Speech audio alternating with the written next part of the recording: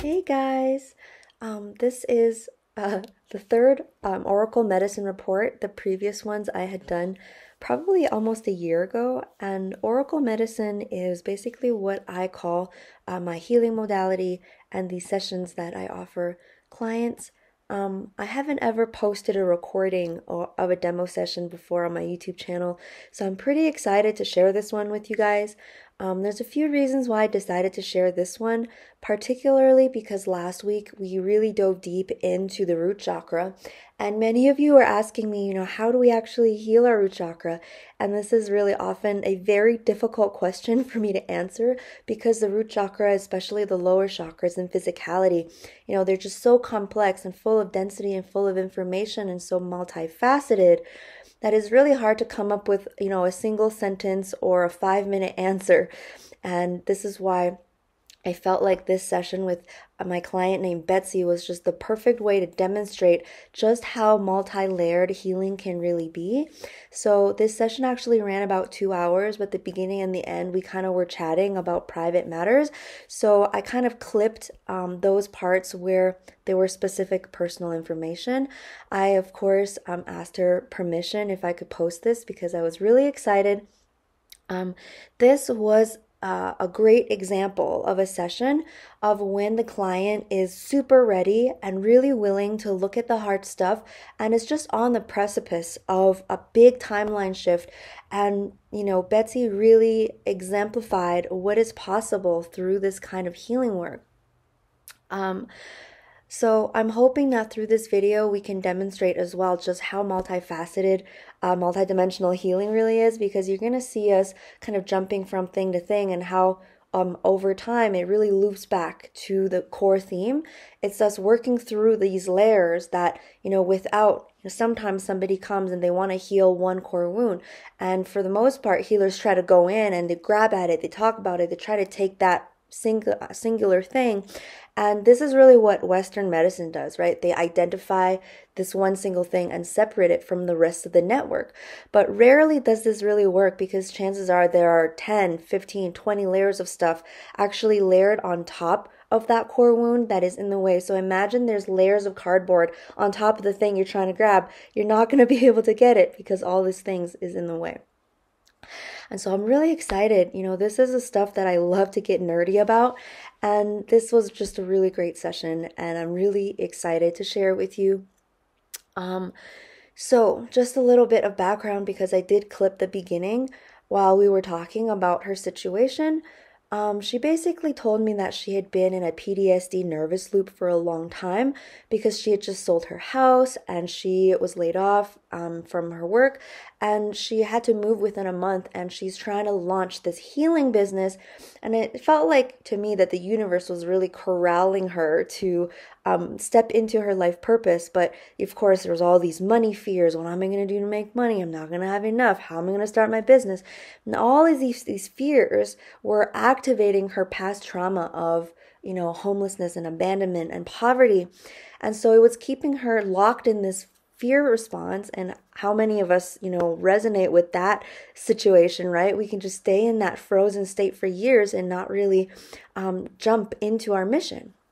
So, this is why I really thought this was a great um, session for you guys. So, by the end of the session, Betsy felt connected to higher self. She was confident. She was even excited about her new timeline. And hours later, she said she hasn't felt that relaxed in maybe two years. So, there are three main reasons I wanted to post this particular client session. The first one is to demonstrate the dynamic and multifaceted nature of healing and why, you know, multidimensional healing to me is just so effective in engaging in holistic healing of our energy, of our spirituality, of our emotions, of our trauma. Um, and so you know, why is it complicated when people ask, How do I heal myself? Well, there's just a lot involved. The reason why I'm able to jump, and you'll see in the session where we're working on one layer, and then it'll bring me to a different layer, and then all of a sudden we're working, or it seems like we're going all over the place in the body, but eventually it resolves the core issue. And the reason why I'm able to jump from layer to layer with ease is because I've spent years working with all these angles through daily practice with myself every single day, hours and hours, right? This is just the stuff that I geeked out on and got very technical with. So, this level of multidimensional awareness and effectiveness is what I teach in my shamanic healing school. Um, and it's why you know, it's now going from a one year program to an ongoing program that has enough content to work with for three to five years. Um, because I realized that there's just so many things that we can break down, and clearly these skills, you know, were carried from past lives um, as a master healer. And I'm really wanting to support healers in their advancement of knowledge and technique so that you guys can really go out there and support humans in the healing from planetary slavery. This is a very multidimensional issue. And in order to be effective, in order to really get people's souls connected to their bodies, we need to know very technical things about the multidimensionality of our light body and our all the layers of our being. So this is really to demonstrate how multifaceted and effective this process can be. So, the second thing is that last week we talked about the root chakra, and I was trying to just talk about how complex the root chakra is. And this session is really going to illustrate how complex the root chakra healing can be because all of these distortions and surface level traumas can literally be in the way and hide everything underneath it. Um, and in the end, what's underneath, the deepest stuff, the core stuff, it's really in our physicality, in our DNA, in our root, in our reality right?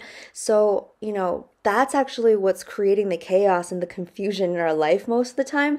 And we'll think it's, you know, all these surface level things and we never get to the root of it.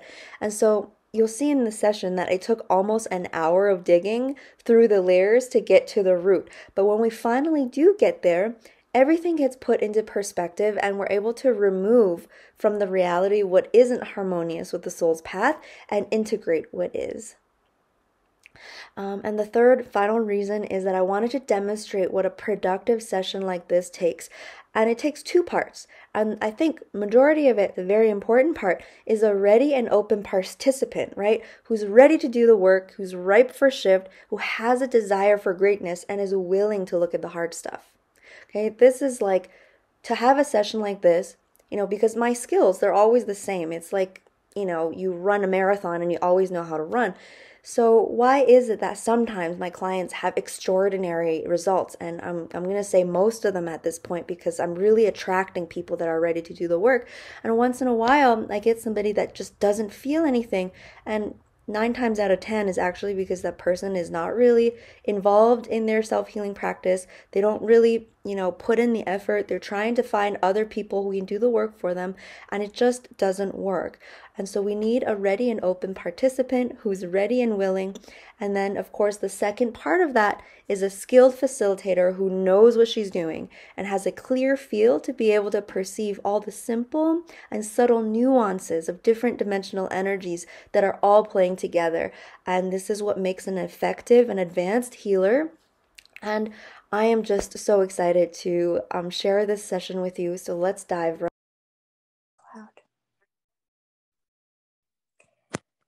So as I was saying, with any of these very dramatic situations that we're in, where it just feels like everything is, you know, changing and things are closing in really fast, and you're like, you know, where am I even going to go? I don't even know. When things are just all piling up and it just seems really intense, we can usually perceive these situations in different ways. And I think that the highest way that serves us the most is to perceive them as an initiation. Okay. And what an initiation is is basically a uh, extreme or intense experience that basically is a portal between one state of being to another, right? So the usual initiations are from when you're a child into adulthood in the ancient times the tribes would literally take the boys out you know and do like a night hunt where they don't eat and they're out in the woods. And it's like this really intense experience that um, brings them a certain energy um, of maturity of growth of just this intensity that ushers them into a greater sense of self or adulthood or whatever it is right? So on this path of soul growth we're kind of consistently moving through initiations between childhood and adulthood in different ways, in different aspects of our being. Because even though we are a certain age, you know, parts of us are always evolving into greater and greater levels of maturity.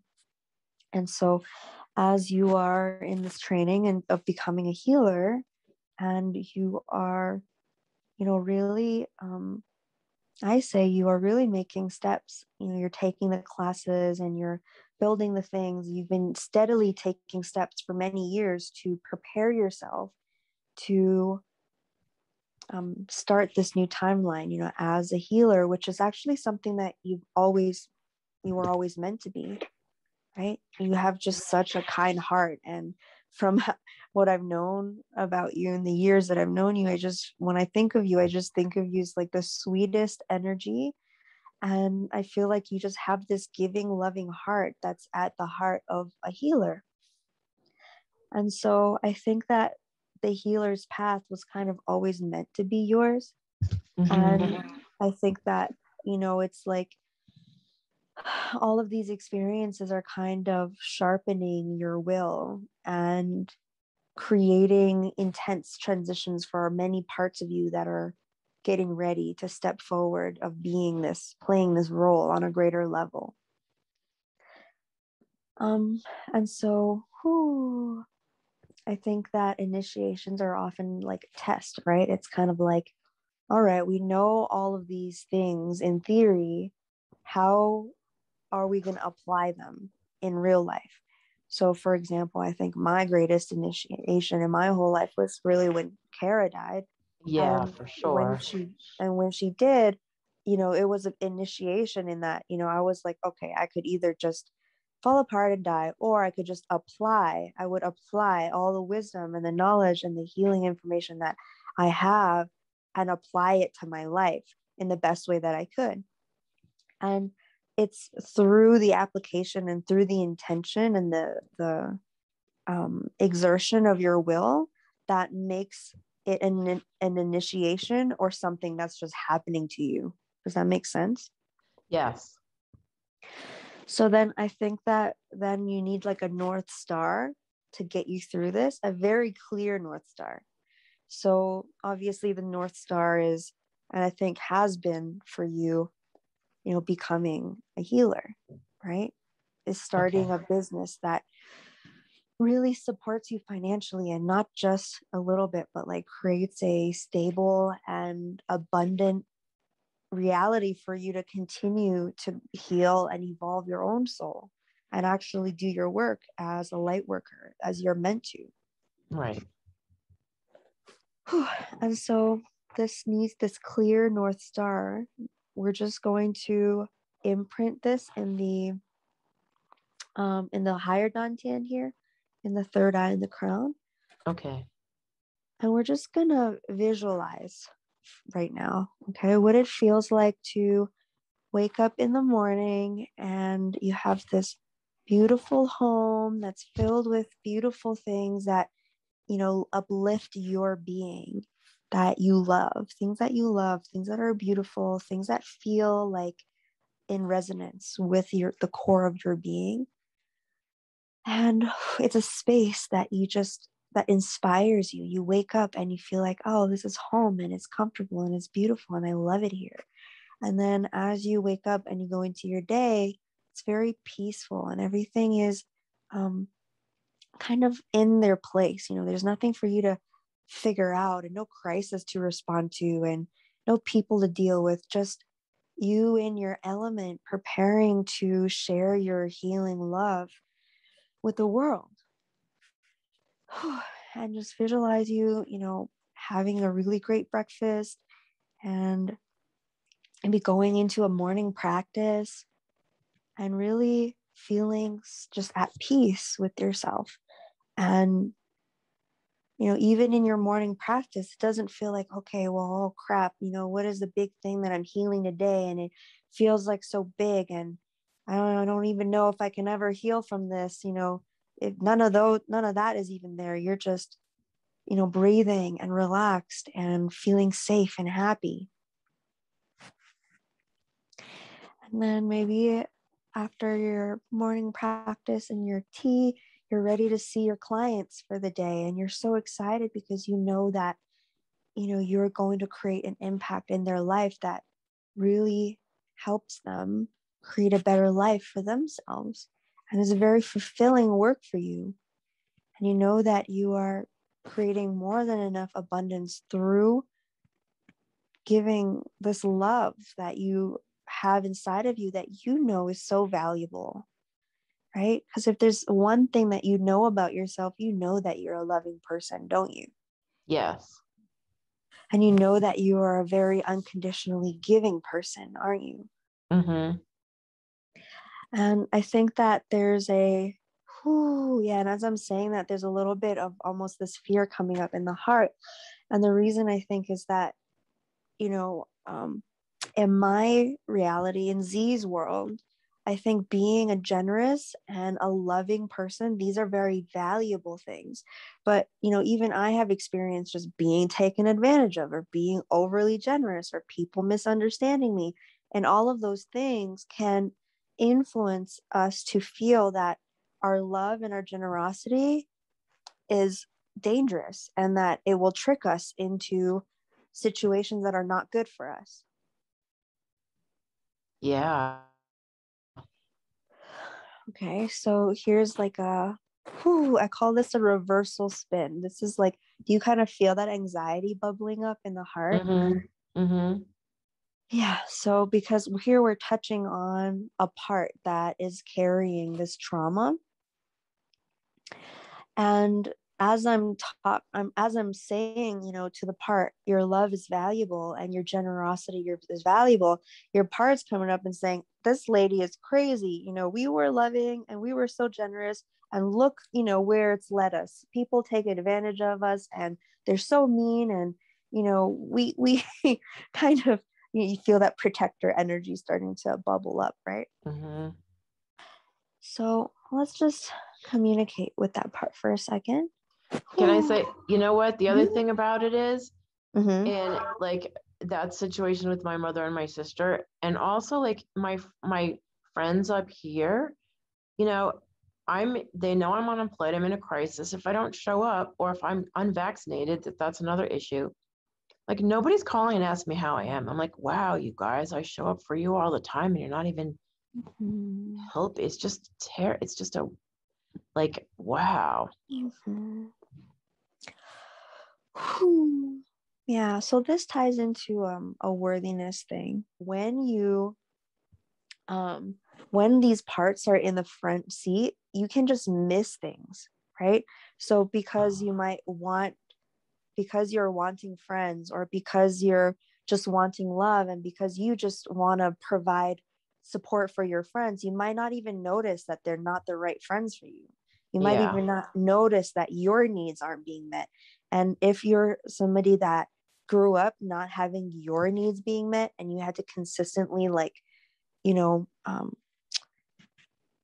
kind of overcompensate to be liked or to be accepted by family and friends, then this pattern can continue on where you don't think about your needs because you just um, are operating in the default that your needs aren't met.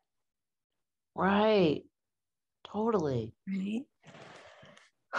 Or and not so only then, that they're not met, it's like I don't have needs. right.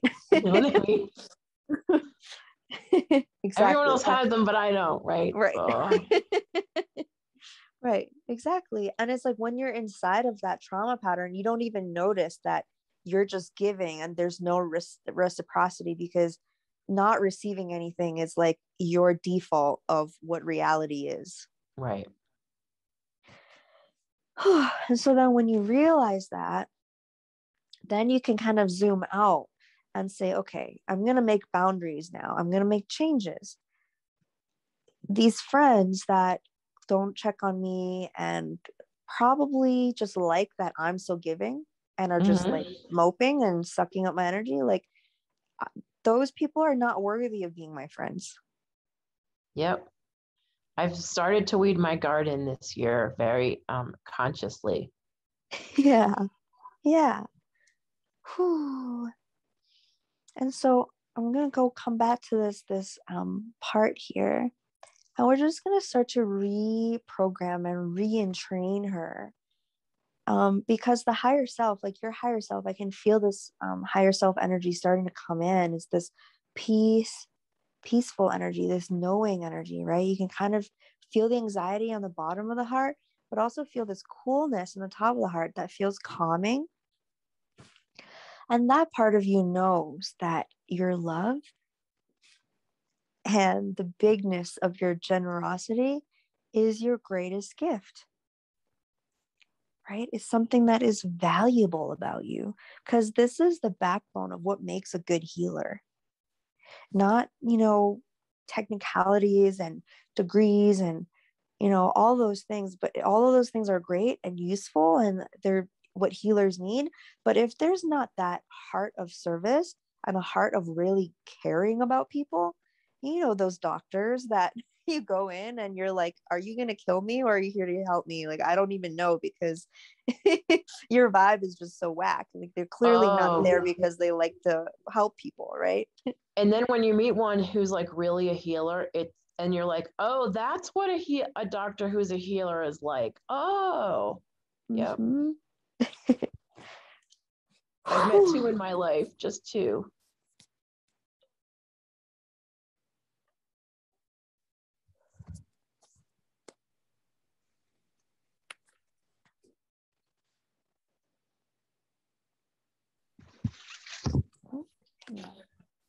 Both of my dogs are at my feet. They're grounding. yeah. Yeah, right? So I want you to just lean into that for a second, okay? Because whew, we really want this um, algorithm to land in the body. This belief, this new belief. Because the truth is that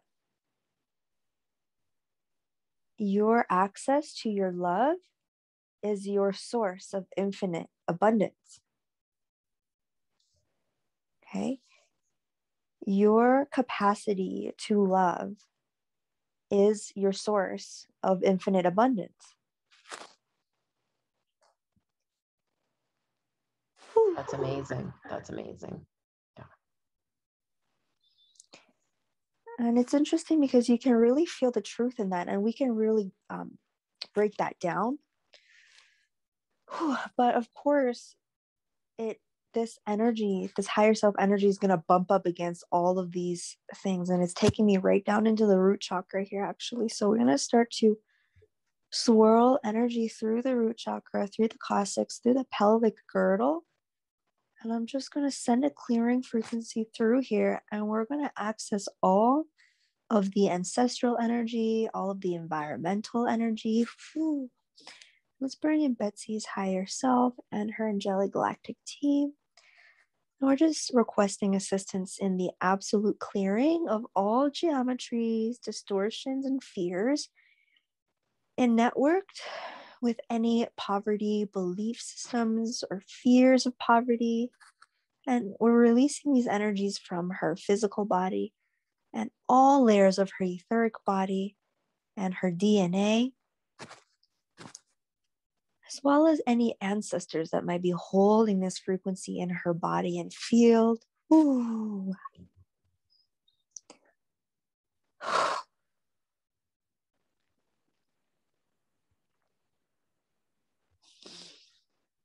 I felt like there was one who was really glad to be released from that.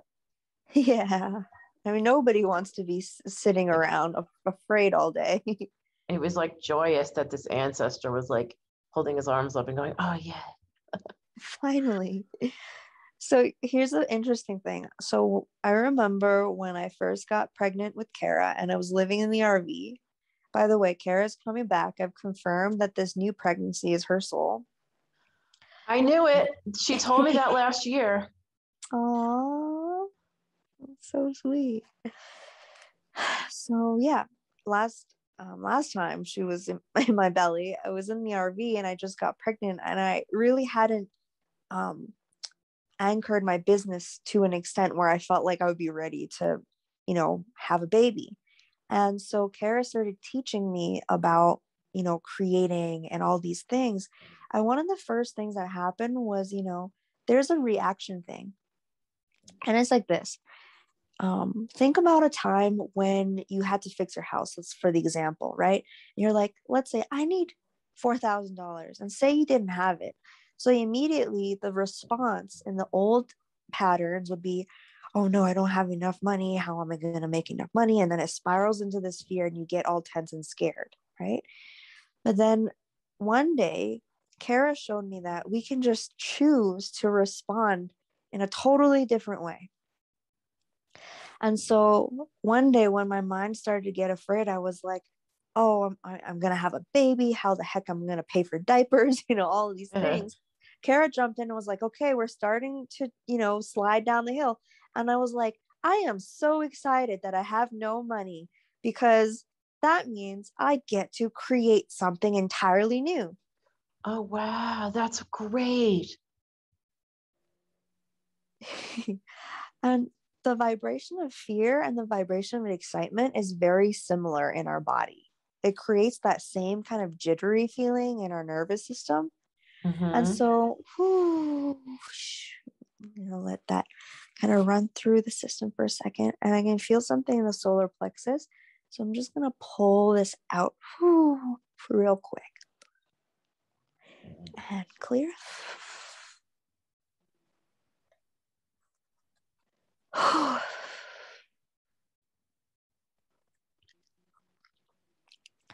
okay, so we're going to hold that thought for a second and just work on the solar plexus because we want to open up some space to fully integrate that concept. And so we have skeptics in our system, right? You know, we have the parts of us that are like, I know that I'm a great healer and I know that I am so capable of loving and supporting people. And then there's other parts of us that are like, yeah, right. Who do you think you are to be successful? Nobody in our family has made it. Look at our sister, you know, she's not an artist. And look at our mom and look at this person and look at nobody in the world succeeds doing what they love. And they just lament their way. Um, so we want to make sure that we're just aligning. All layers of our solar plexus here in higher self galactic team we're commanding for a clearing restoration removal of all distortions personality discrepancies false beliefs which are hindering the integration of this new operating system. And if there are any parts that are frozen in time or any miasms that are frozen in certain holding patterns go ahead and release them from all layers and levels whew, into higher self patterns. Whew, there. Yeah, and feel that power coming in. I know that you've had moments in time when you felt powerful and like you can, right? You were made to do it. This is your purpose. You are allowed to feel that way. Give yourself permission to feel the fullness of how great it is to be you. Again, let's go ahead and just activate all ins, all fractured personalities, and just go ahead and reintegrate them into the core personality crystal. There, there, there. Ooh.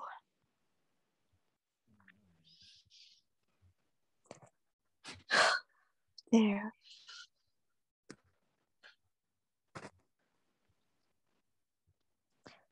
Whew.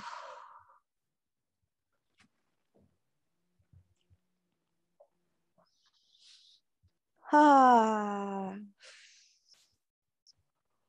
Okay, so that's taking me right into the right leg and the hip and the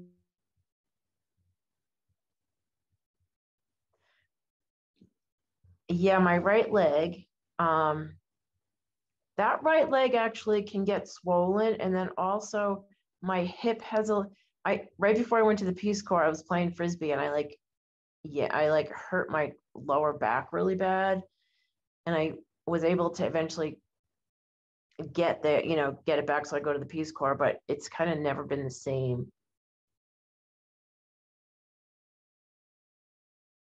Are you here? Hello? Yeah, you're here. Okay. Can you hear me? Yes, I can hear you. Okay.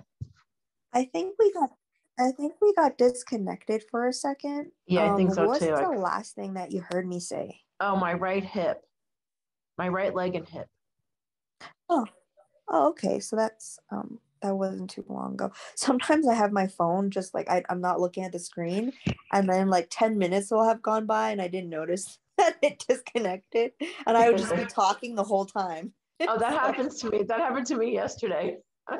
oh my god. Whew. okay. Um, can you um repeat what you said because all I heard was something about the Peace Corps. Oh, so right before I went to the Peace Corps, like a couple of just on a couple of months, I was at a Grateful Dead concert playing frisbee, and I went to grab the frisbee, and I I I uh, jerked my lower back so bad. I drank eight beers and I was not even drunk, and I had a, a half a hit of acid, and it didn't do anything. It was just trying to like get the pain. So I finally got it. I finally got better enough to go to the Peace Corps, and it kind of worked itself out, but it's sort of never been the same and my right leg it's a little bit bigger than my left one and it's like a little bit um retains water a little Hmm. Yeah, so let's take a look here because this feels like an ancestral energy and it runs right from right in the right breast as well. Um, so it starts on the right side of the right breast, like right underneath the armpit, and then it swivels around the breast into the sternum and then down the belly, through the hip, and through the knee. So let's run this line here. Let me see what I can get from this. Whew. Okay, yeah. So this is from like a male ancestor who was tricked into a situation where he thought he was being given a really great opportunity, but it turns out that it was like a scam and it just ruined his whole life. Um, whew. and it seems like this happened sometime in like the 1800s or something like that.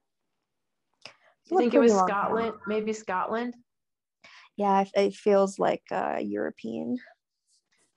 yeah because my devon I, I did a little work with devonte one day and he thought that was like a an ancestral lineage that would that you could lose everything all of a sudden and that was part of what was going on with me hmm Yeah. So we're gonna run a source frequency whew, whew, through this entire line here, and I'm actually I'm seeing this ancestor. He's in the field here, and I'm just gonna command for our team to lift this ancestor right up into the source field, lifting him up into heaven, so that he's no longer frozen in time, frozen in the miasm, frozen in DNA, affecting Betsy's life. Here we go.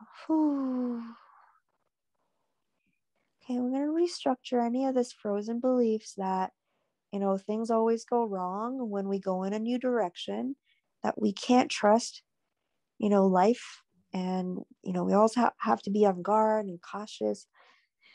Whew, go ahead and release all of those energies from Betsy's masculine side. Whew.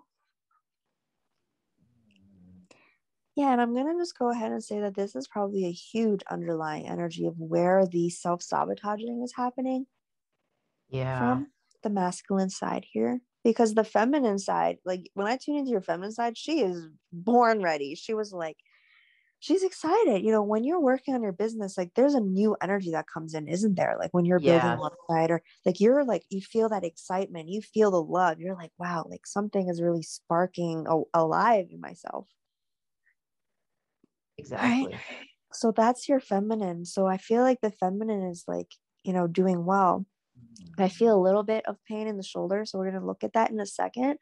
But this is a, inner masculine issue because um here's the interesting thing. Our masculine side is the one that kind of creates the actions. So our feminine is like got the inspiration, got the imagination, got the creativity, but our masculine has to create the right environment and the right structure for that creativity to flow into reality. Just a practical example of that is, you know, you're like, okay, I want to do this business. Your masculine side says, okay, every day for four hours, from this time to this time, from this time to this time, Monday to Friday, we're just going to sit down and work on our business no matter what is happening. Right. Now, that's only four hours a day. You have plenty of other time in the day to do other things. And so, a healthy masculine would prioritize your business at all costs so that there's continuity, right? That the feminine gets to be creating that timeline consistently, even if for if it's for one hour every day, there is consistency right? Now, a wounded masculine will prioritize everything else above that. Whew. Yeah, okay. Yeah, I definitely have a wounded masculine. Yep. And I would say that a lot of that was coming from this ancestral energy. And let's go ahead and dive a little deeper here. Ooh, okay, and this energy is here at the top right of the head. And I'm going to run through a restructuring frequency over the head here. Ooh. And so this is a, um, it's like it's bouncing off between the top of the head and the cervical area where I feel like there's a little bit of inflammation. Like when I just gently poke um, the top of the skin here in the pelvic girdle, just between the um, the pelvis between the two hip bones like right all the little all the flesh if i start poking that area it feels like there's soreness and there's inflammation and so we want to look at this Whew. And so i want to ask if you've experienced any um, physical sexual trauma in this life yeah, I had an unwanted pregnancy and uh, I was traumatized by the abortion doctor. And then I had to, and I, you know, he didn't go through with it. And then I had my gynecologist do it. Ooh. Okay. Yeah. So that's very connected to, you know, the process of birthing, which is what you're really doing when you are creating, right? Okay. And especially something that is so aligned, like um, you know, remember in the womb class, we talked about the top dantian and the middle dantian and the lower dantian? Yeah. So the top two dantians in your field are rotating great because your thought, you know, the top of the head, your idea, your inspiration is, I want to start a business helping people heal. And so the heart, you know, the motivation I feel for you is very pure because you're so loving.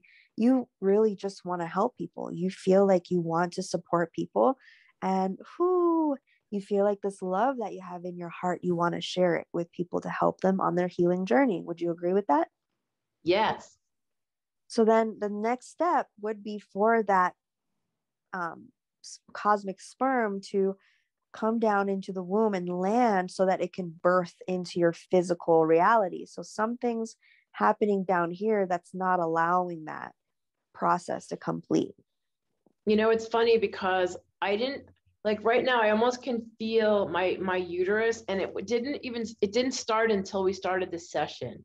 So it's sort of like responding to everything you're doing. Mm-hmm. Yeah, and this is I can feel that inflammation going down the leg now. Um, and it's releasing. Okay. Releasing out the hip and out the thighs and out the lower back. So let's see if this is when Okay, so this is the thing that's connected to the left shoulder here. Ooh.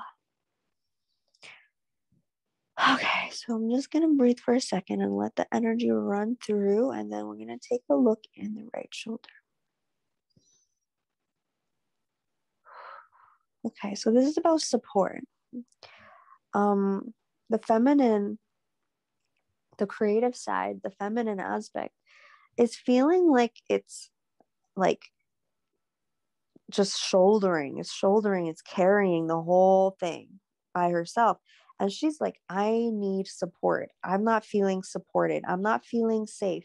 I don't feel like there's state space being created for me because the, the masculine is really not, right? He's like, he's like afraid. He's like, I'm scared of our new future. Like the new direction is scary. We're not doing this.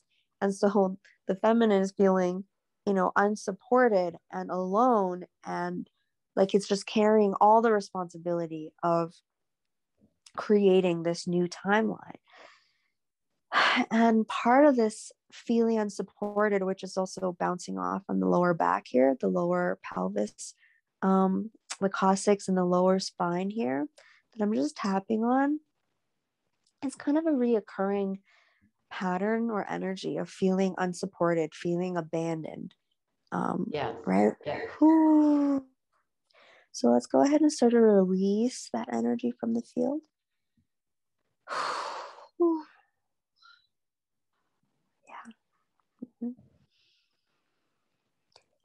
I hear you. Yes.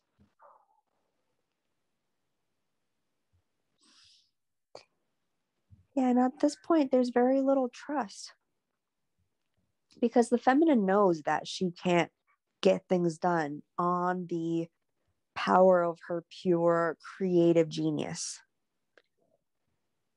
Right? Because she needs that masculine action energy to make things actually happen in 3D. So she knows she can't succeed by herself. And that's the frustrating part. But she's trying, you know, she's like, she knows what she wants. She's got her heart on the goal. So she's trying her best, but she's also feeling powerless because she knows she can't do it herself. And so there's kind of a loop here whoo, between like just this oscillating between, I can do it, I got this, and oh my God, I can't do this, and I can do this, and I can't do this. And whoo, I'm just letting those energies just flow through the system. Whoo, there. okay. And let's bring me right back to the cervix area here in the lower back. Oh, that just got released some kind of like bubble, big bubble of energy right behind my sternum. Mm-hmm.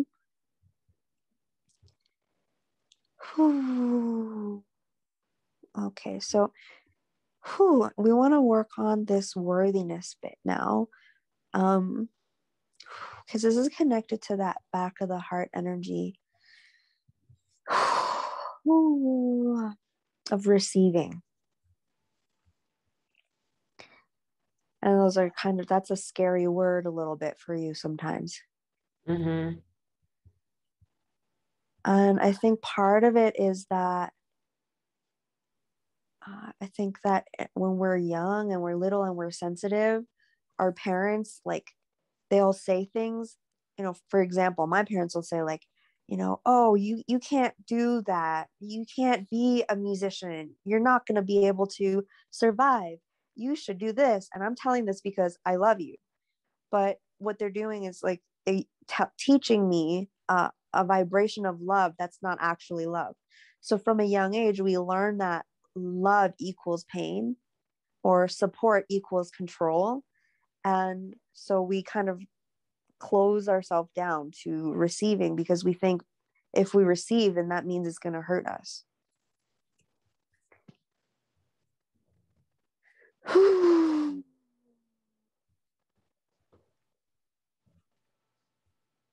okay, so we want to reprogram the pattern here in the back of the heart into receiving equals joy equals being appreciated. Equals living a life of ease. Okay and then like living a life of ease is triggering this response in the solar plexus here. Um so let's see here higher self galactic team activate all is in the first three levels related to the highest priority occupants which are resonating um, in reversal of the vibration of I deserve to live a life of ease. Bring in those is, mirror opposite is, merge together with each other with the Christ opposites up the levels. Bring in all the necessary Christ opposites to remove the occupants themselves. Whew. Whoa. Here we go. Wow. What was in there? Who was in there? Oh man, I'm not I'm not really looking at the details because there's a few layers. Whew. You know, ancestral and present life and influence and inner children, all of that. So what we're doing is just kind of um the effect the efficient way of doing this is just clearing out all of those things that are not relevant at this time. Okay, great. so clean up all these is, their opposite is, merge together with each other with the Christ opposites of the levels. Bring in all the necessary Christ opposites to remove the occupants themselves, clean up demons, thought forms, soul fragments, personalities of other people, ancestral geometries, frozen miasms, frozen personalities, subconscious beliefs, and etc. on the first three levels, then all levels. okay, we're going to radiate this frequency through all layers and levels of Betsy's physical and light bodies, through all dimensionalities and all timeline realities. Okay. Whoo. There. Are you feeling that move? Yeah, my solar plexus and also uh-huh. uh second chakra, third chakra, let's see, second mm. chakra, solar plexus. I mean sacral chakra. Sacral chakra, right. Yep, no, that makes a lot of sense because here's the thing living a life of ease means pleasure. Right. Right. Creating is pleasurable. And you know you've you've started to taste that when you are you know working on your website or taking your class and you feel that purpose. Yeah i love it. And you and you you feel that pleasure in your body right? Or like your body is mm. doing something that fulfills you. Ooh. my dog is snoring. Hold on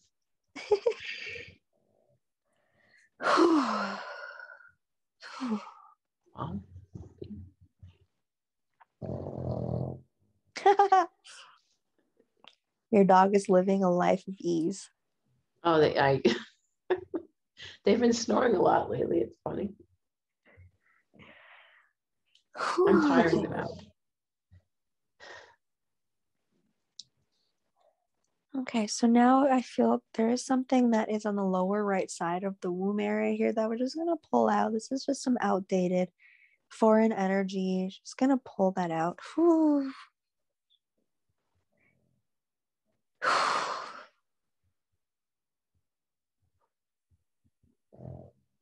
Yeah because this is the this is the vibration in which you start to access kind of out of this world solutions and um, innovation. When you have this spark of genius it's really when not you know rarely ever if you're just scared and pissed off that you you know you sold your house now you didn't want to sell your house and now blah what am i going to do? Like that that kind of conflict energy rarely do you get that spark of genius when you're kind of rolling around in that but if you are in this higher vibration of everything happens for a reason and i am creating i'm actively creating my highest timeline and i have everything inside of me to generate abundance with ease and pleasure when you're in these vibrations of truth it's easier for these sparks of genius to come in, right?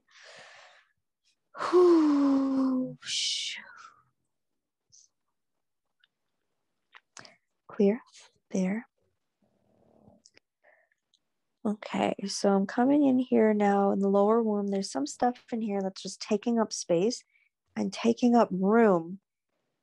And so we want to just clear all of this out. So, higher self, galactic team, activate all is in the first three levels related to the highest priority occupants in Betsy's sacral chakra that are not of her own soul's essence and not of her highest soul's essence and love and joy for them to be present. Whew. And bring in these is, mirror opposite is, merge together with each other with the Christ opposites of the levels Bring in all the necessary Christ opposites to remove the occupants themselves. Whoo! Clean up demons, thought forms, soul fragments, personalities of other people, energy signatures of other beings, cooperations, creations, beliefs, ancestors, outdated personality patterns, and etc. On the first three levels, then all levels throughout all of her physical and light bodies, all of her genetics, and all levels of her being in other dimensionalities and timeline realities. Whew.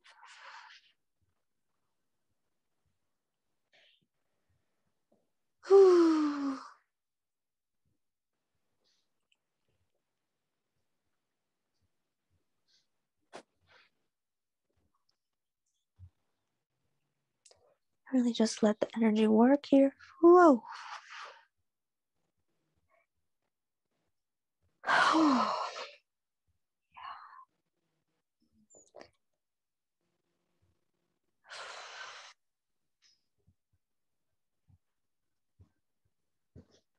Yeah, there we go. Feel that lower back release as well.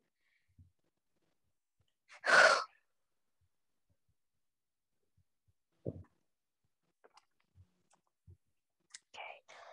And this is really settling. This is finally opening up the space here in the lower back, pelvic girdle, the root, the lowest part of the, your spine there, the, the pelvic plate, and your coccyx.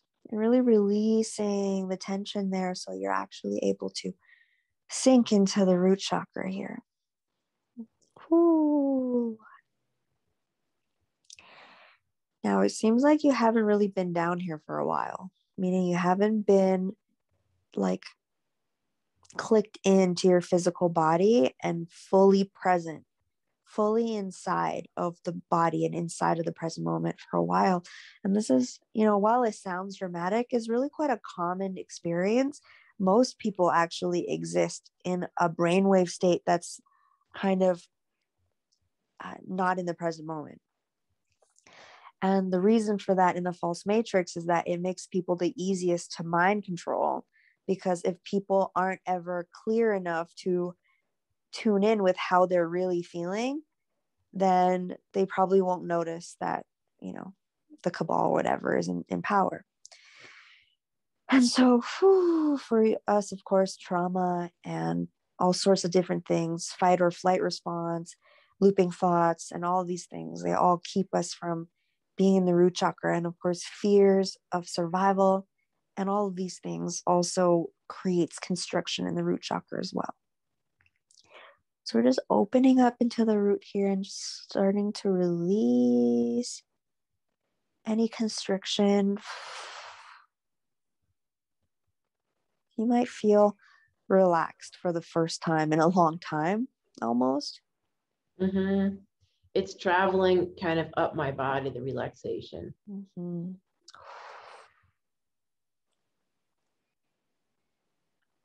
Yeah, it's almost like there's like just this little ringing source of fear that's just vibrating inside of you. And it's like just subtly creating anxiety and fear, and you just can't touch it.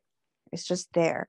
Right. It's just like you have to really slow down to be able to access these deep core levels of fear.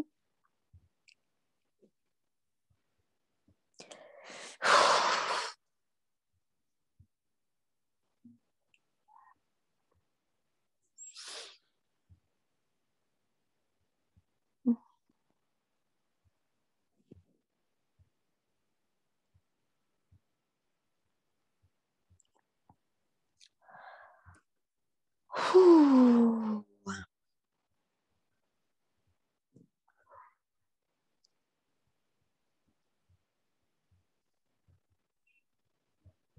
Okay, so now we're coming into a core wound deep in the root chakra here that is really reflected in your experience with your home. Okay, so it feels like that there's a disconnection to the body. And I think that this is a major initiation that you need because having a relationship with the body and having a very deep and intimate relationship with your body is one of the most important things to being a good healer. Right? right? Because the body, as you probably know, is the one that's carrying the memories, that's processing the trauma, that for the most part is the one that, you know, is carrying the pain and the fears and the programs. It's all held in the system. And so when we're out of touch with the body, it's almost impossible to make real progress in our healing because it's mental, right? It's like we're thinking about our trauma, but we're unless we're in tune with our body, we're not actually feeling the trauma all the way. And feeling the trauma all the way is how it releases from the field, right? Um, and that's not to say it's not it's a different thing than thinking about the trauma event it's not about replaying the event it's just about feeling the feelings that the event created in the body and allowing the body to feel it all the way because how trauma gets trapped in the body is the trauma event creates a feeling but because it's so uncomfortable we actually dissociate from the feeling mm-hmm. and then that locks the feeling inside of our body instead of it processing and being felt all the way to be released. So lately, you know, when I'm in this PTSD thing, I feel it so much in my body. And I was like, this is how it felt in the original trauma. I didn't even know. Mm-hmm. Right. Yeah. And this is very common in a lot of extraordinary trauma events, like will literally numb out.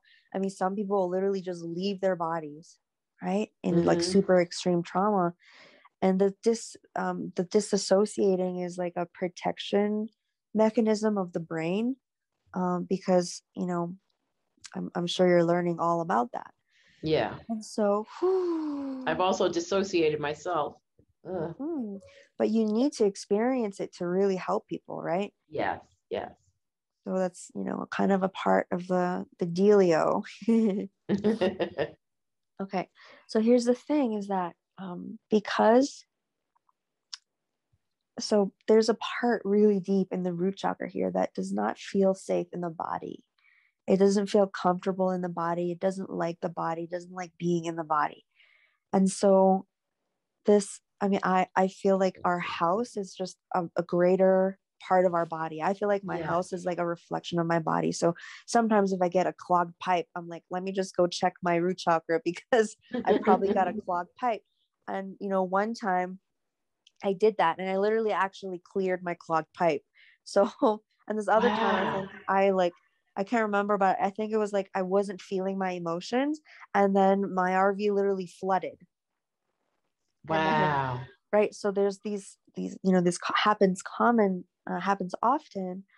But so in this case, you know, it's like, I want to sell my house. I don't want to sell my house. I don't like my house. I like my house. I don't know how I feel. And it's like just this feeling of being unsettled in the body. And so, you know, it's like no matter where you are, you're going to feel that no matter what yeah. house you're in. Yeah, I, I sort of came to that awareness. Mm-hmm, mm-hmm. That's why I was like, oh no now i'm selling my house for for that because of that oh no you know so it's absolutely too late right like this is a done deal there's nothing you can do about it I can, there's nothing i can do about it without getting sued okay well have you just talked to the other people and say like hey like can we cancel this if you don't if they don't want to, like you won't. But I guess they're like getting ready to move in. Yeah, and their realtors are really nasty. And that's why, mm-hmm. you know, I talked to my lawyer and I said, look, I'm having really bad PTSD. I can't move right now. And he's like, all right. And then talked to the realtor and she's like, you're going to get sued for lack, lack of performance of the contract because these realtors are really nasty. And also the buyer is really neurotic. Oh, okay and the other thing is i the financially i i could go to this company that would give me $17000 invest in the equity of the house and probably fix it up and then i don't have i just feel like i would have a lot of financial stress in the next six months that I'll have some of that anyway, but not as much. But if there's a way, like I could somehow get this lady to change her mind on her own, but I don't think I can. Okay, so let's break down the first part of what you said because there's a part of you that is so used to being in that poverty consciousness of, you know, yeah. oh, I don't have. It's almost like this, and I can feel it in the back of the lower spine here. It's a block. It just feels like a a clog, let's say, and it's because life force is not flowing into your system. So you think that there's only a finite amount of energy that you have. Right. Okay. So it's represented by your savings, but we're really talking about life force. Yeah. Okay. Okay. So this life force is represented and reflected in your savings account, and that's reflected in your choices and your reality of how you're experiencing. You're like, okay, no matter what I do, I'm not going to have enough money because my savings are going to run out. But that's the paradigm you're in where you're yeah. not flowing energy, right? You're not being open to the possibility that you're actually creating abundance. Abundance is flowing into your life. That money is not an issue. Okay.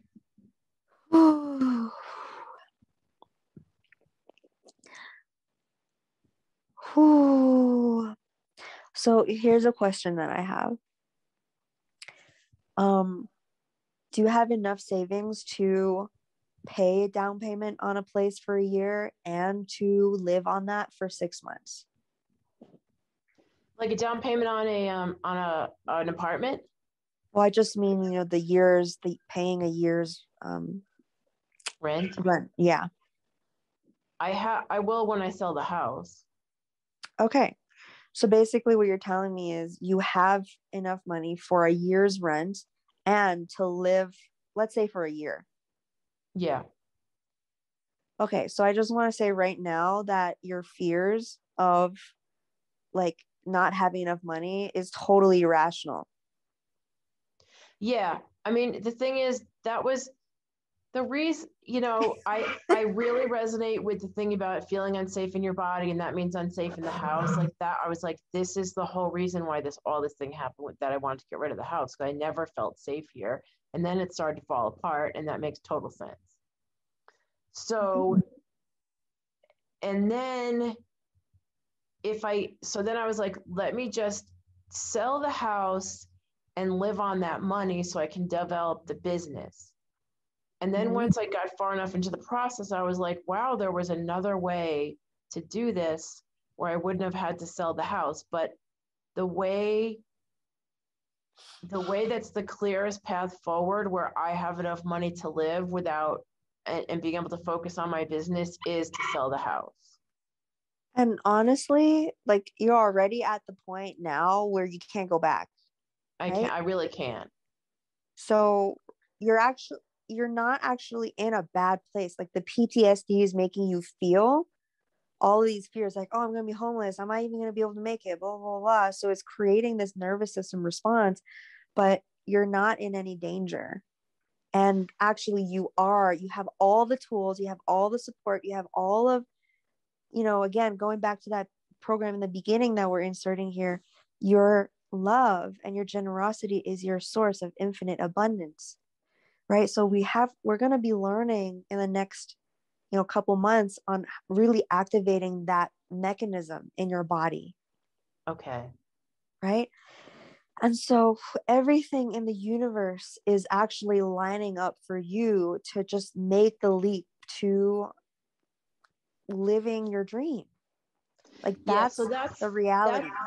Yeah so the other thing about the house thing is like the i thought well if I get rid of all the maintenance and all the work that you do in like the yard and all the, snow and shoveling, then I could like really just focus on the thing, on the making the reality.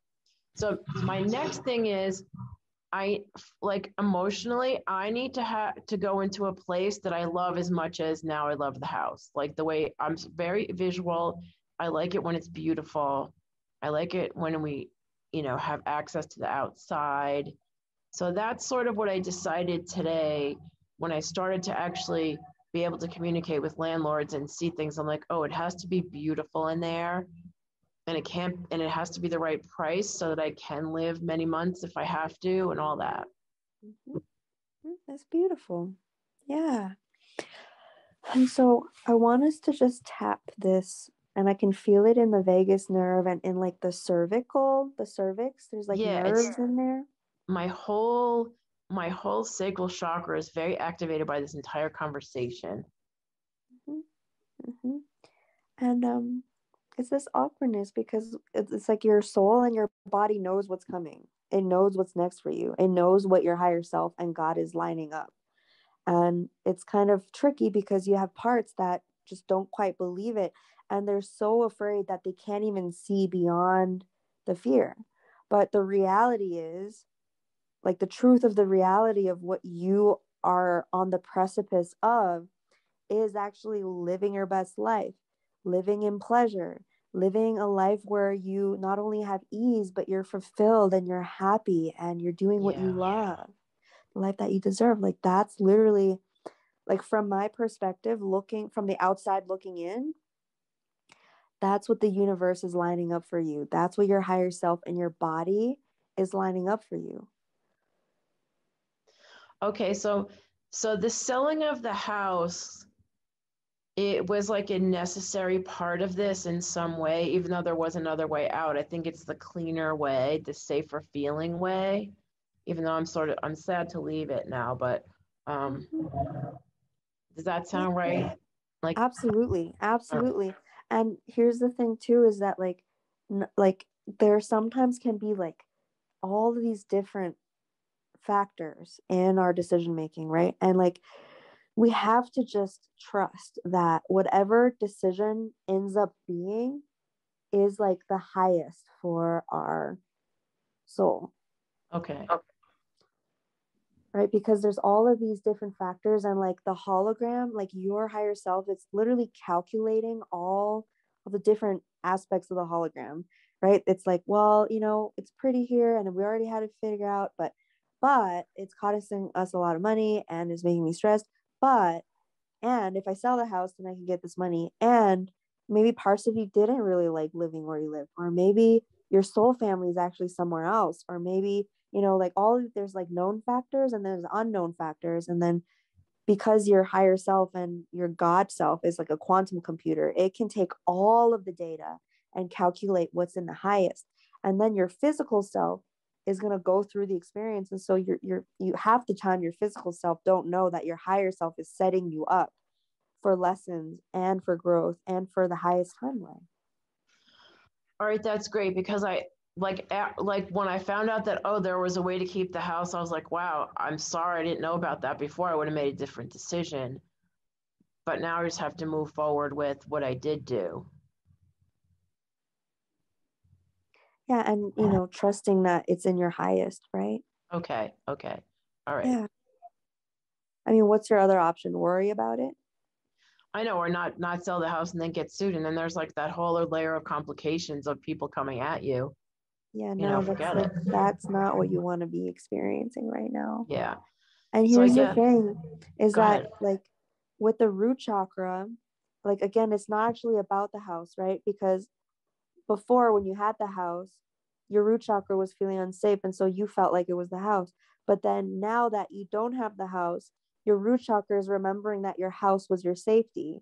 Yes. So so um it's actually again not about the house. Right. Because chakra yep.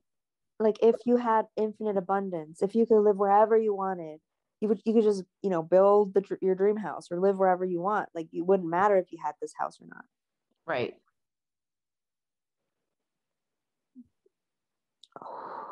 And the root chakra you know is it's tricky because it takes time to it's just like the biggest and the densest chakra. It takes a lot of time. And whereas like your your mind your higher chakras they oscillate at a much higher frequency and so you can change things and make shifts much quicker.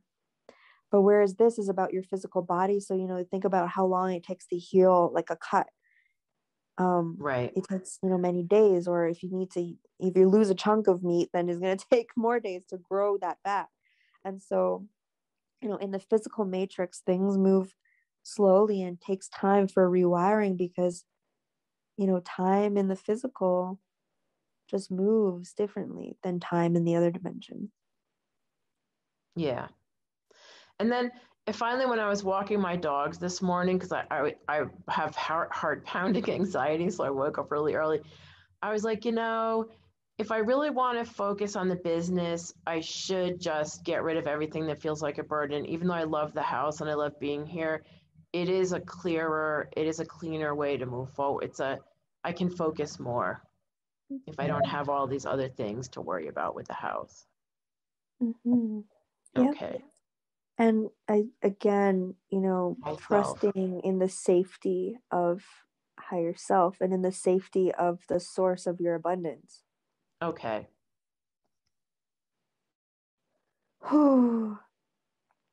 and that's a hard one. It takes it will take time for that one to land because that one has to land in the root chakra. And that's kind of a big jump, right? From the false matrix provides me with my security and Right. God and my higher self and my joy and my love provides me with my sense of security. It's just a different, it's just like a big um, operating system change Yeah. as the foundation of your life, right?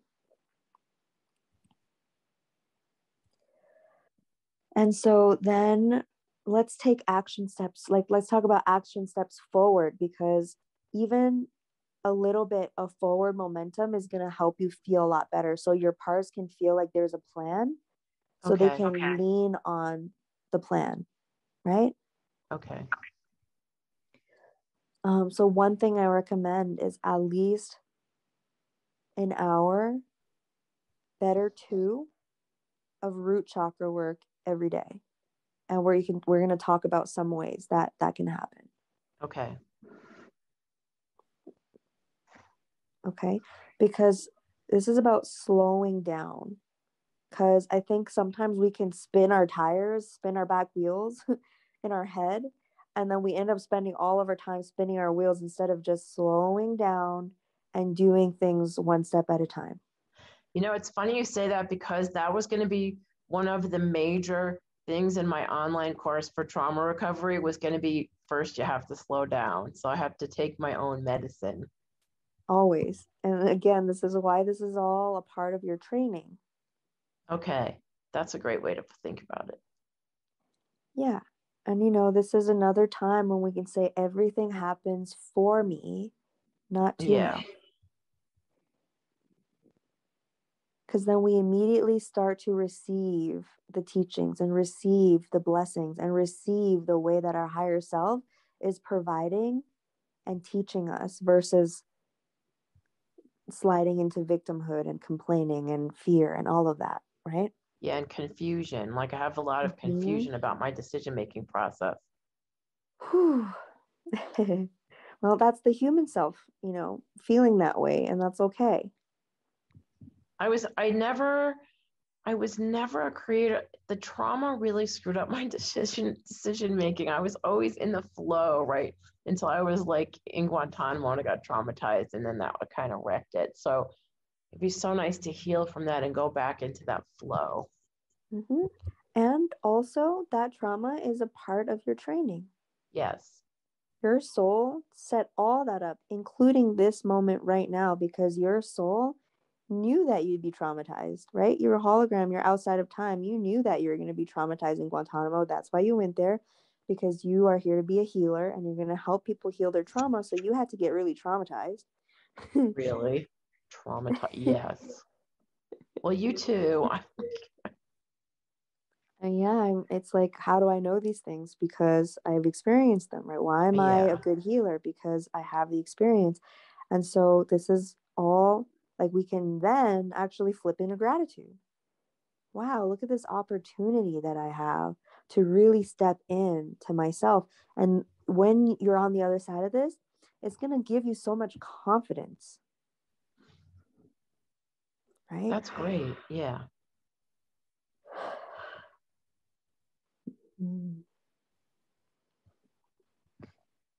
And so I want you to be mindful of the way that you're speaking to yourself because you can see how we just re- rewired that thought, like mm-hmm. right as it mm-hmm. came through.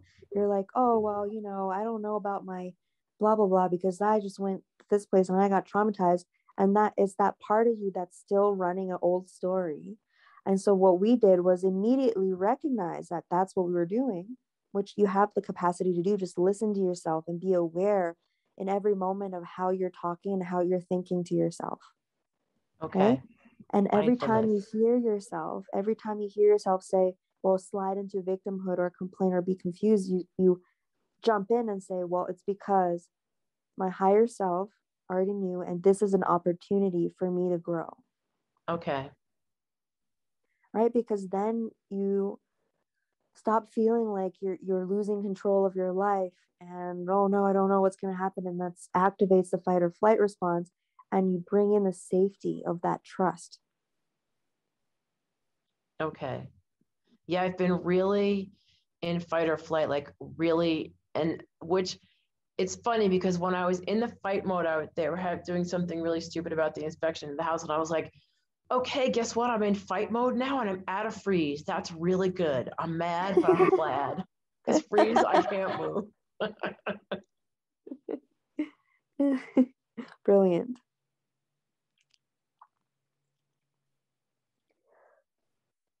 okay.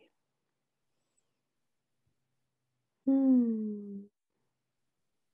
Yeah, that's I like that visualization. I'm definitely feeling like a thawing, like there's like a defrosting going on of the yeah. womb because that was frozen for a long time. Like when you were working in corporate and you know going to these places, like it, it wasn't you didn't get to feel like your body wasn't in pleasure when you were doing your job.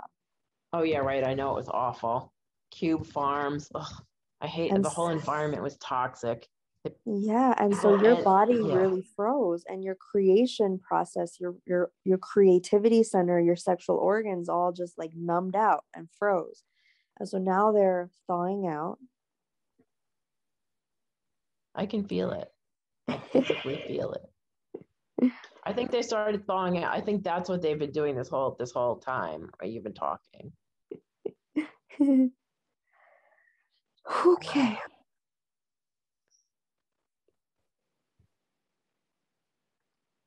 Okay, so I want to just do a, a feedback check in with how your system is doing. So I'm going to ask, how are you feeling about your situation right now? So now I feel like I'm more clear. I feel I don't feel afraid about getting an apartment. I actually feel confident about telling that land whoever landlord I get that you're only getting six months rent. mm-hmm. And it's an opportunity. It's an opportunity instead of a loss. Mm-hmm. Yeah. An opportunity to create something new by giving up the house. Absolutely and putting mm-hmm. so there's this woman I, I had this tarot reading because I you know my I don't trust my creation process because of it it's a, I think it's a trauma thing because that came up in one of the classes too but um it's checking things and she's like the you move forward from the house when you leave the house behind you leave all of that stuff behind like to try to think about it like that mm-hmm. yeah like Absolutely. what I'm leaving behind to move forward. and I can feel the relief in that. You feel like this giant boulder is just rolling off your field. Yeah, like all the low self worth and all. And mm-hmm. actually, when I, you know, when I was fixing up the house to and fixing up and painting and all this stuff, you know, I thought about my mother a lot, and I thought about doing projects around her house, and like it, it was good.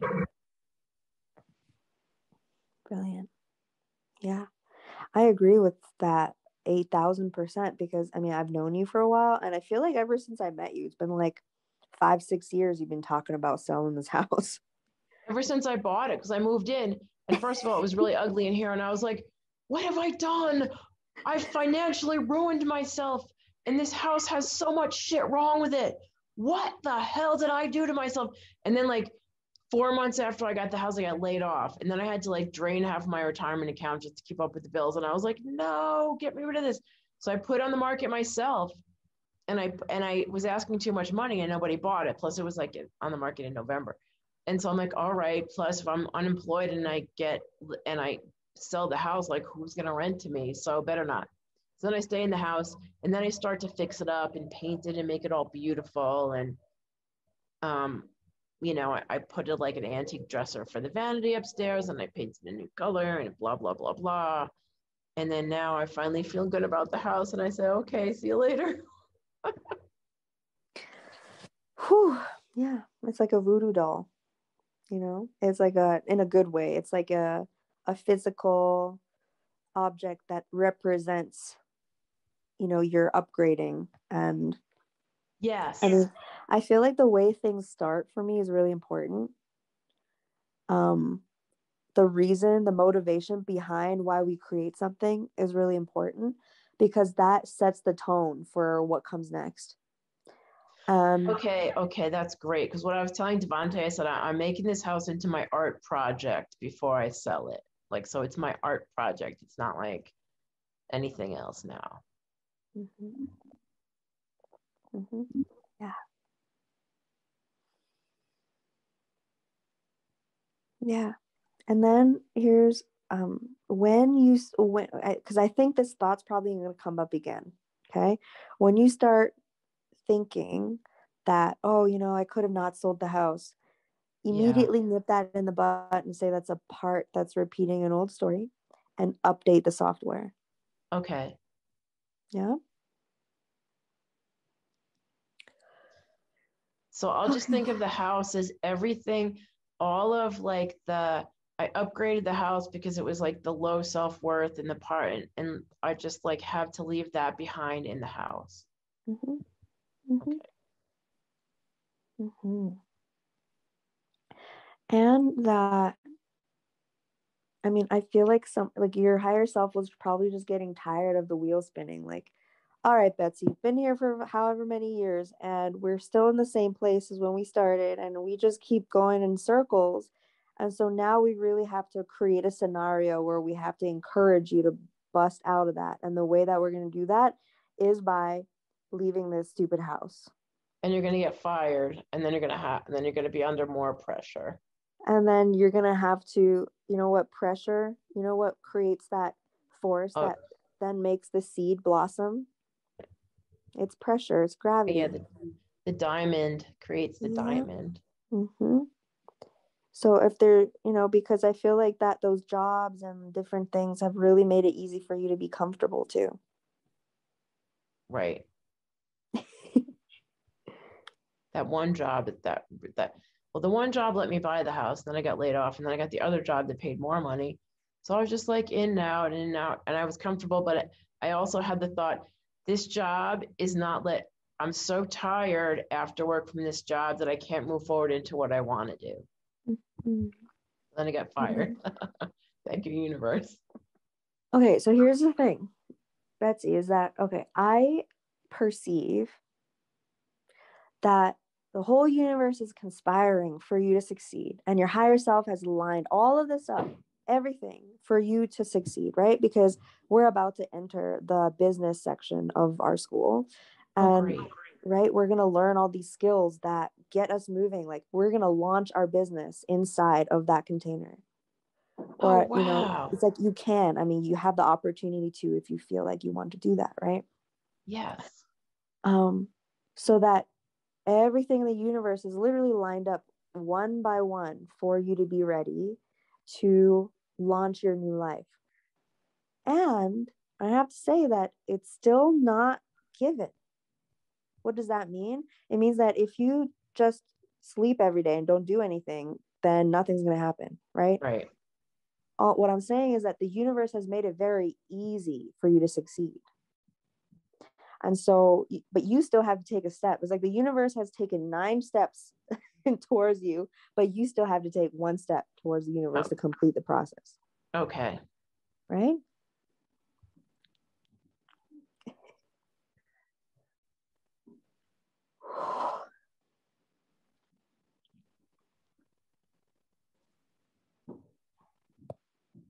Can you hear me?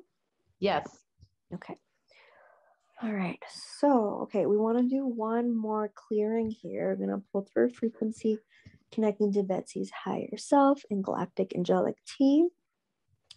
I'm just going to uh, command for all pieces of Betsy's soul that might have gotten lost or been taken or frozen somewhere, for all pieces and all of her energy to brought back, to be brought back in this moment now.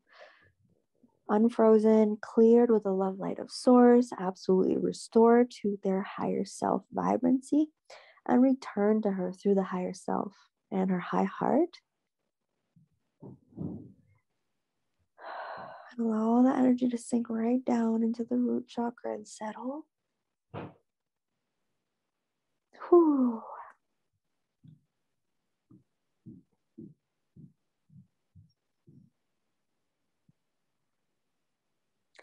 Whew.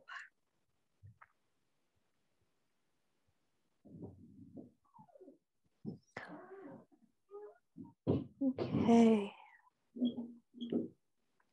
Okay, and if there is any part of Betsy's consciousness or energy that is frozen in a past timeline or in a, in a misbelief or stuck in a thought loop or any processes like that in her multidimensional body, go ahead and defrost and bring all those parts and energies back into her field, restore them into their freedom, into their higher self vibrancy.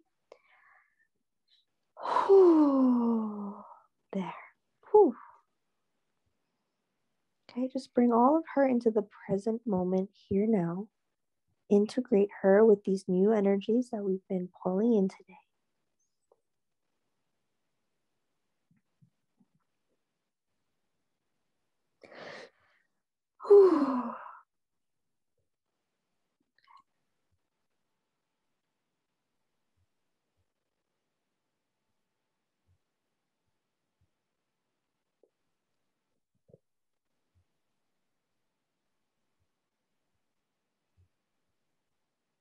Ooh.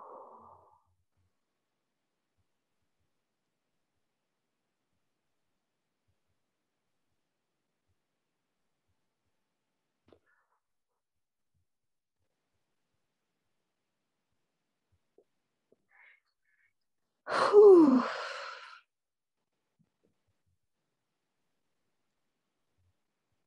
Okay.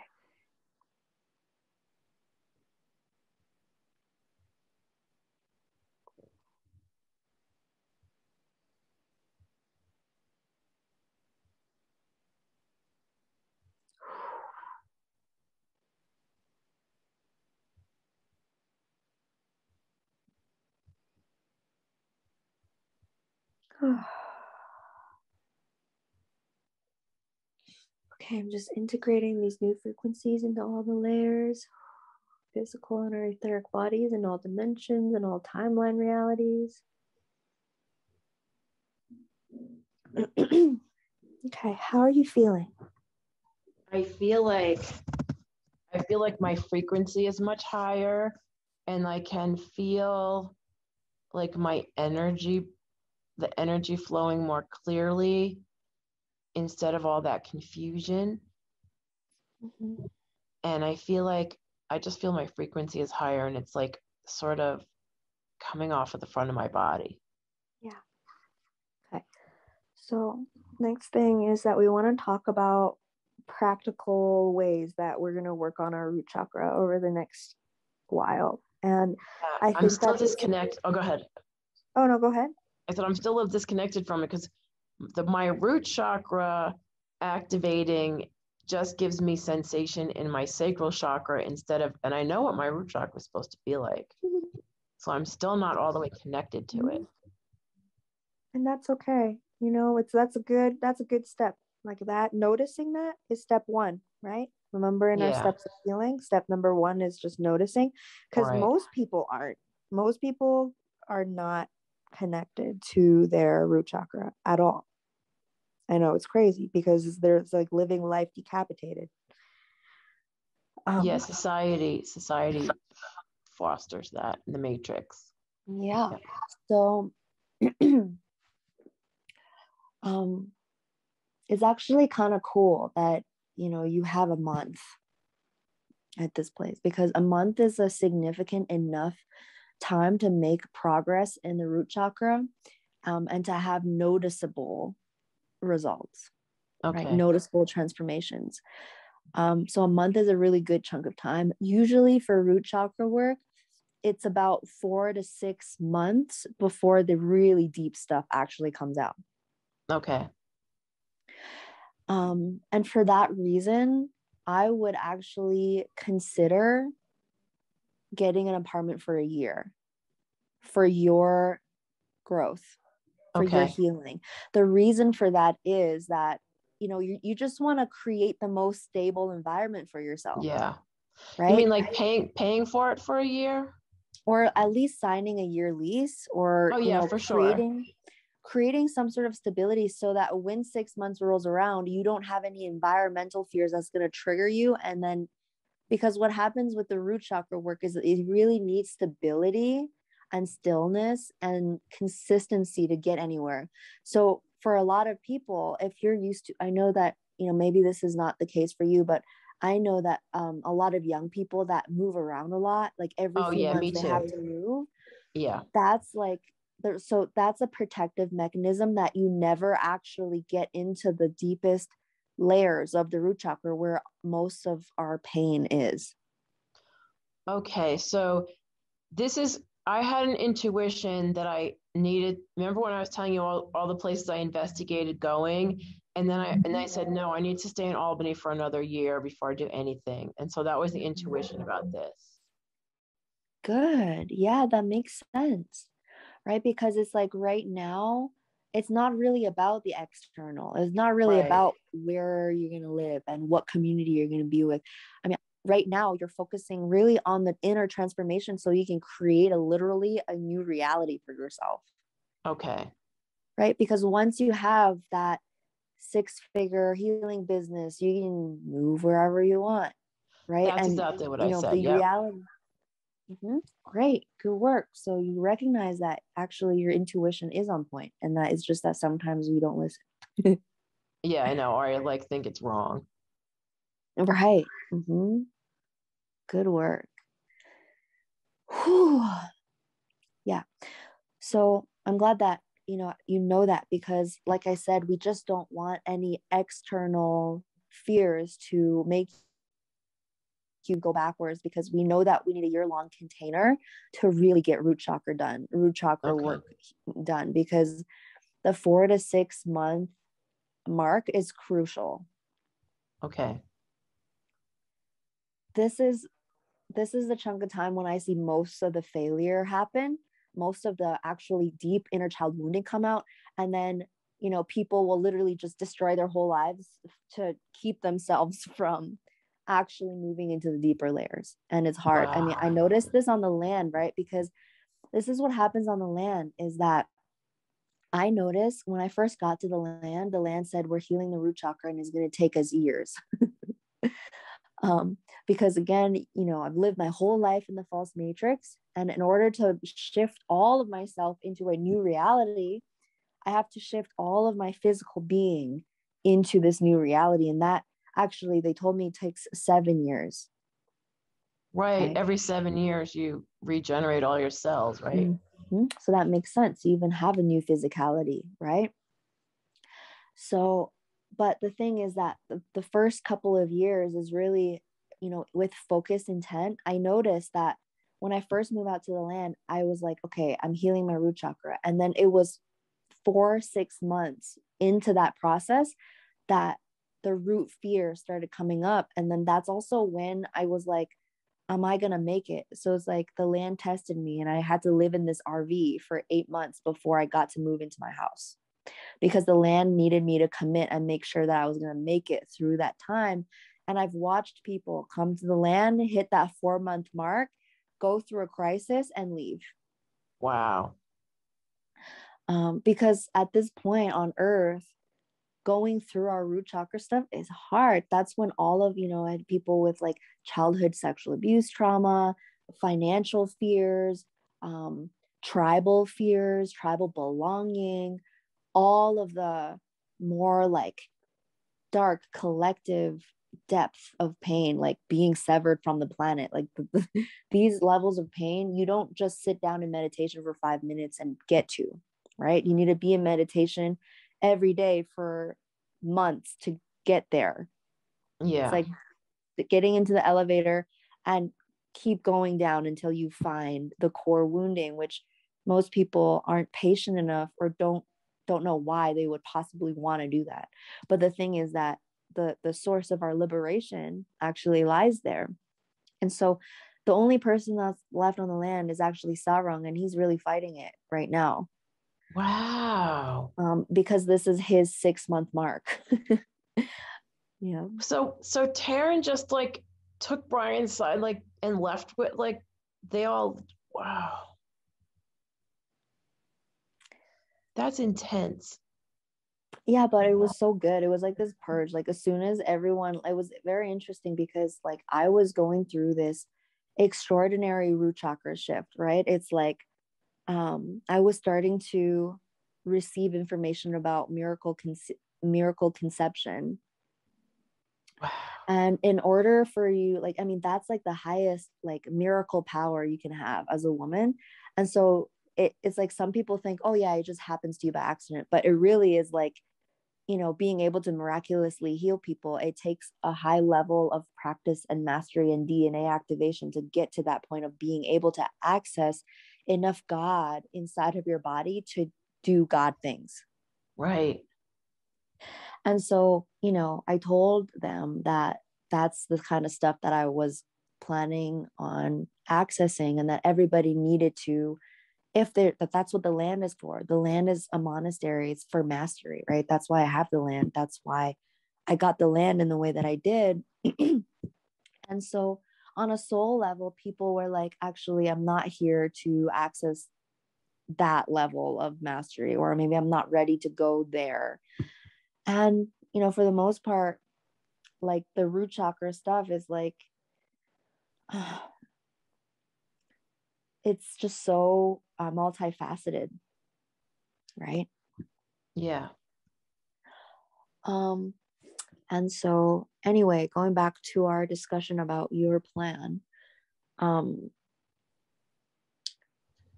basically you need a safe space where you won't be disturbed for a year right because that's that's like you're going to hit that 4 to 6 month mark and you want to make sure that you are creating the environment for yourself that is safe.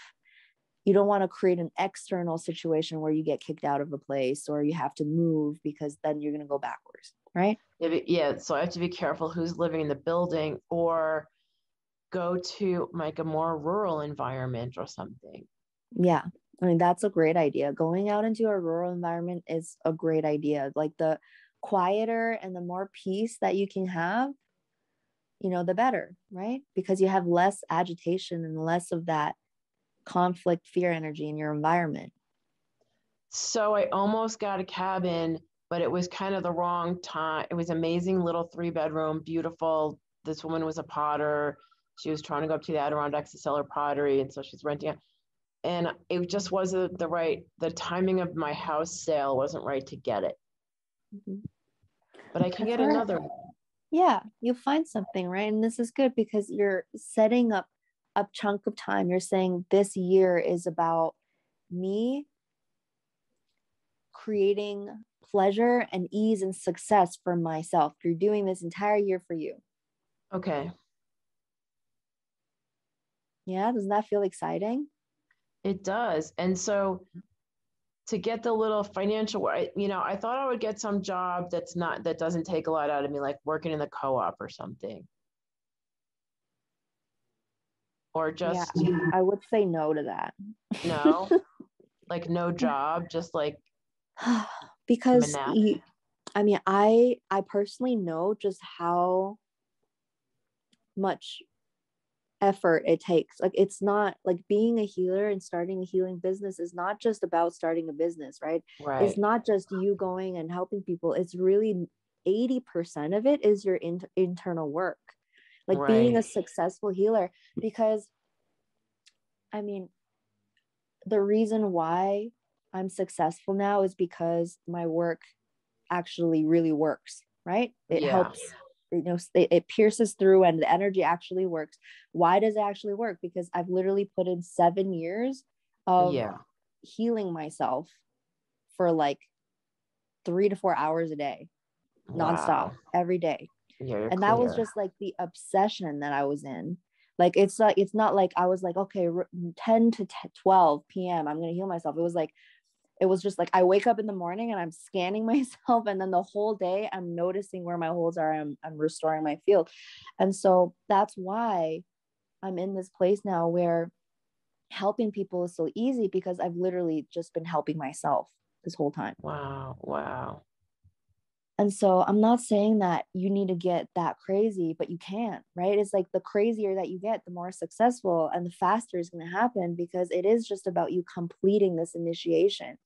And, you know, that's why I can't give people certifications for becoming a shaman or becoming a healer Right. because it all depends on it's a holographic process of how much a person actually takes themselves seriously and puts themselves first and really shows up for themselves and i believe that you have the opportunity to do that and i know that betsy you've been on this path for a long time and so it's really just about putting things in the right space like it's you it won't take you seven years because for me i was just waking up and like you know I, I the seven years was me being on my path and exploring and learning and waking up and all of that you've already experienced those things you know more spread out over a longer period of time so right now you're really just putting everything together Okay.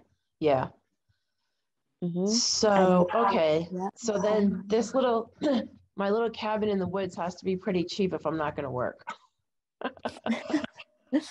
um and so here's the thing is that okay the reason why i asked you if you had enough money for a year's rent and to live off of that money for a year is because a year is more than enough time to establish a successful coaching business Yeah. right So, But- yeah. the main thing that's stopping you is the insecurities, the root chakra, the distractions, the masculine Yeah. side.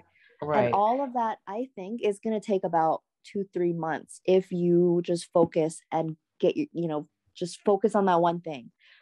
So, what I'm saying is that it feels like in two, three months, you're going to be able to just launch your business and find success, but you're not going to be able Oh. to do that if you're, you know, distracted or working somewhere else. Like you need all of your intent, attention and focus on this now. And that's why the universe is literally backing you into a corner. Like,